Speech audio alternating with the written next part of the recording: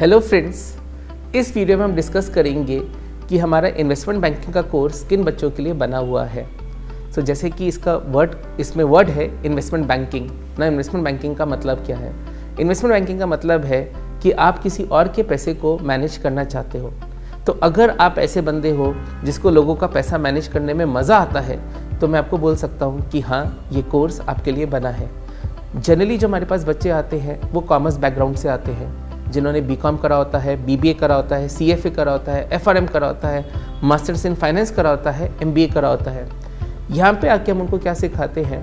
अब उनको जो चीज़ें उन्होंने ऑलरेडी सीखी हुई हैं उनको सिर्फ़ प्रैक्टिकल वे में सिखाने की कोशिश करते हैं। सो so, अगर आप एक ऐसे बच्चे हैं जो लोगों के पैसे को मैनेज करना चाहते हैं फाइनेंशियल मॉडलिंग सीखना चाहते हैं इस शेयर का भाव मार्केट में क्या होना चाहिए दैट इज़ वैल्यूएशन सीखना चाहते हैं या बैंक में काम करना चाहते हैं एज अ क्रेडिट मैनेजर कि किसी बंदे को लोन देना है या नहीं देना तो मैं आपको बोलूँगा, ये कोर्स आप बच्चों के लिए बना है।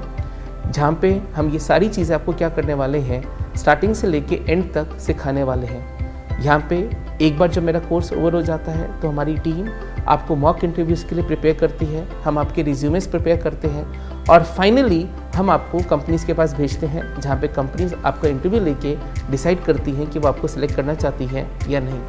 So in nutshell if you are a commerce graduate and if you are a person जो इंटरेस्टेड है लोगों के पैसे को मैनेज करने में, लोगों के पैसे को ग्रो करने में तो ये कोर्स आपके लिए बना है। ठीक है? Thank you